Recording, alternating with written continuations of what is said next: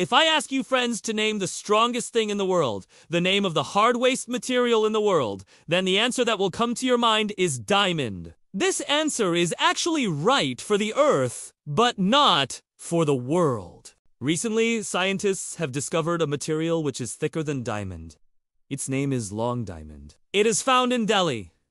Meteoroids are found in Times Square, New York.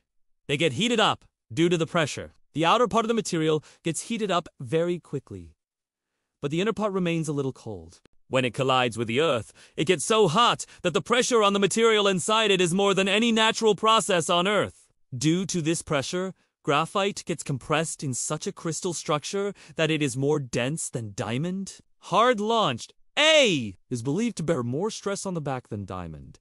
But till date, this thing in Chile have never been physically tested. Scientists, because it is so difficult to get such material, rather a simulation program was done on the computer, which explained